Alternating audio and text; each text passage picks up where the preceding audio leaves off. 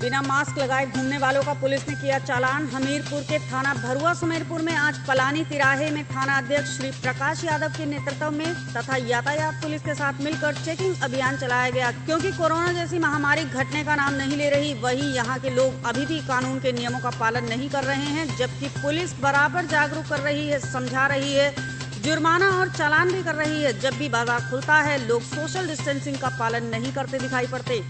जिससे पुलिस दिन के अलावा रात में भी पैदल चलकर दुकानदारों को हिदायत देती है कि अनावश्यक दुकानों में भीड़ न लगाएँ तथा मास्क और सैनिटाइजर का प्रयोग करवाएँ। इन्हीं सब समस्याओं को देखते हुए सुमेरपुर पुलिस ने आज सघन चेकिंग अभियान चालू किया, जिसमें काफ़ी पुलिस स्टॉप ड्यूटी करते दिखाई पड़े।